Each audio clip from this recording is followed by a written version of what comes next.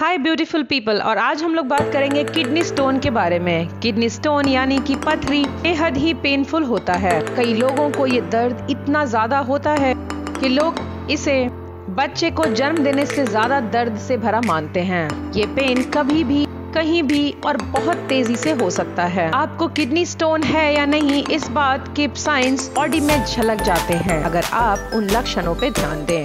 जब भी किसी को किडनी स्टोन होता है तो उसे वो दर्द लोअर एब्डोमेन यानी कि पेट के निचले हिस्से में होता है। क्योंकि ये पेट के निचले हिस्से में होता है, इस वजह से कई बार इसे दूसरी बीमारियों से कंफ्यूज कर बैठते हैं। आइए हम आपके साथ शेयर करें वो रीजन वो साइंस और सिम्टम जिससे आपको पता चले कि ये किडनी स्टोन्स ही हैं। इसके पहले हम बात करेंगे किडनी स्टोन्स यानी कि पथरी है क्या पथरी दरअसल आपकी बॉडी में बहुत सारे खनिज पदार्थों, यानी कि मिनरल्स और सॉल्ट यानी कि नमक, जो कि कैल्शियम यूरिक एसिड और जनरली हार्ड चीज़ों से बना हुआ होता है जब आपकी बॉडी में प्रॉपर पानी की मात्रा नहीं जाती, यानी कि डिहाइड्रेशन होता है तो किडनी में ये मिनरल्स और सॉल्ट जम जाते हैं और फिर ये स्टोन्स का रूप ले लेते हैं। जब आप प्रॉपर मात्रा में पानी नहीं पीते तो उस वजह से आपका यूरिन काफ़ी कॉन्सेंट्रेटेड यानी कि गाढ़ा होता है, जिसमें मिनरल की मात्रा ज़्यादा होती है और फिर आपकी बॉडी में किडनी स्टोन्स बनने शुरू हो जाते हैं। किडनी स्टोन का साइज़ छोटे से लेकर बड़ा तक हो सकता है। कई बार ये यूरिनरी ट्रैक से पास होकर बाहर भी निकल आता है। मगर अगर ये साइज़ में बड़े हों तो इन्हें निकालने के लिए आपको सर्जरी तक करनी पड़ सकती है। किडनी स्टोन होने का एक और लक्षण है कि आपको कॉन्टिन्यूसली बैक में, पेट में और साइड के में भी दर्द होता रहता है। किडनी में बना हुआ ये स्टोन एक ब्लॉकेज की तरह काम करता है, जिसका प्रेशर किडनी पर पड़ता है और किडनी ये सिग्नल आपके ब्रेन को भेजता है। इस वजह से जिस भी इंसान को किडनी स्टोन हो, उसे बैक में, रिब्स के नीचे और साइड्स में भी काफ़ी ज़्यादा पेन महसूस होता है। इसका एक और बहुत बड़ा सिम्टम ये है कि जब भी आप यूरिनेशन यानी कि टॉयलेट कर रहे होते हैं तो आपको बहुत ज़्यादा पेन महसूस होता है।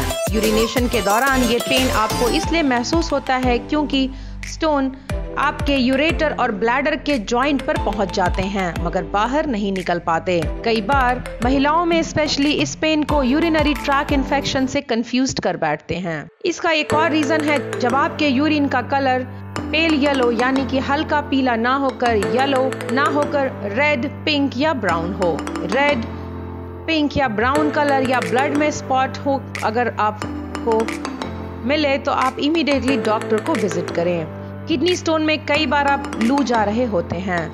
क्योंकि बड़े स्टोन्स आपके यूरेटर के पास फंस जाते हैं, जिस वजह से आपका यूरिन ब्लॉक हो जाता है। इस वजह से आपको यूरिन के लिए कई बार लू भागना पड़ सकता है। किडनी स्टोन में नोजिया और वोमिटिंग जैसी फीलिंग का आना भी बहुत ही कॉमन है। ये तो हो गई किडनी स्टोन के बारे में बात। अब आइए बात करते हैं कि किस तरह इस स्टोन से आप निजात पा सकते हैं। ऐसा सेट बिफोर किडनी स्टोन का साइज़ वेरी करता है। वो भी छोटे से लेकर बड़े तक। क्योंकि हमने बताया कि किडनी स्टोन बनने के पीछे का सबसे बड़ा रीजन है आपकी बॉडी में डिहाइड्रेशन तो इसकी रेमेडी के लिए आप अपनी बॉडी में प्रॉपर फ्लूइड की मात्रा को मेंटेन रखें। इसके लिए आप लगातार अपनी बॉडी को लिक्विड प्रोवाइड करते रहें, ताकि आपकी बॉडी के अंदर बना हुआ वेस्ट मटेरियल यूरिनेशन और स्वेट के थ्रू बाहर निकल आए। इसके अलावा कुछ नेचुरल तरीके हैं जिनसे भी आप स्टोन से निजात पा सकते हैं। As I said before kidney stone को अपनी बॉडी से बाहर निकालने के लिए आपको कम से कम 8 से 10 ग्लास पानी रोज पीना चाहिए। जिस वजह से डिहाइड्रेशन की प्रॉब्लम नहीं होगी और आप बेटर फील करेंगे। दूसरा है कि आप अपने खाने में लेमन जूस यानी कि नींबू के रस को ऐड करें। लेमन में सिट्रेट होता है। ये एक ऐसा केमिकल है जो कैल्शियम स्टोन्स के बनने को रोकता है। सिट्रेट इनफैक्ट आपके छोटे किडनी स्टोन्स को, को भी तोड़ता है। जिस वजह से ये यूरिनेशन के दौरान आपके शरीर से बाहर निकल जाते हैं। इस वजह से आप लेमन जूस यानी कि नींबू के रस का इस्तेमाल अपने खाने में रेगुलर तरीके से करें। तीसरा है तुलसी का जूस। तुलसी में एसिटिक एसिड होता है। एसिटिक एसिड जो आपके किडनी स्टोन्स को ब्रेक डाउन करता है और आपके पेन को भी रोकता है।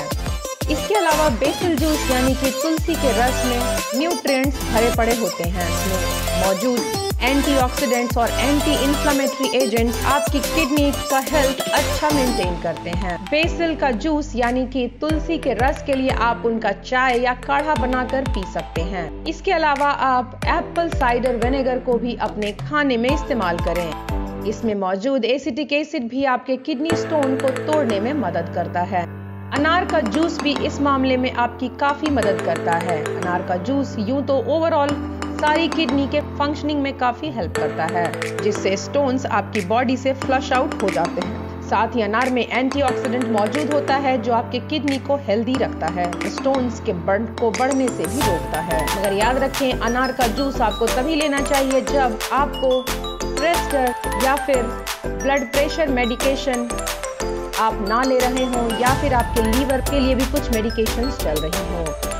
वेल इनिशियली इन रेमेडीज से आप अपने स्टोन लेवल को बॉडी में कम कर सकते हैं। मगर के बाद भी अगर आपको छः हफ़्ते या उससे ज़्यादा से यूरिनेशन में प्रॉब्लम हो रही है या आपको कोई भी लक्षण किडनी स्टोन की तरफ़ इशारा करते हुए दिखे तो डेफिनेटली आप डॉक्टर को विज़िट करने से हेजिटेट ना करें। तो ये था हमारा वीडियो आज के लिए। किडनी स्टोन पर we would love to know आप अगले किस टॉपिक पर हमसे सुनना चाहेंगे। तब तक के लिए स्टे हेल्दी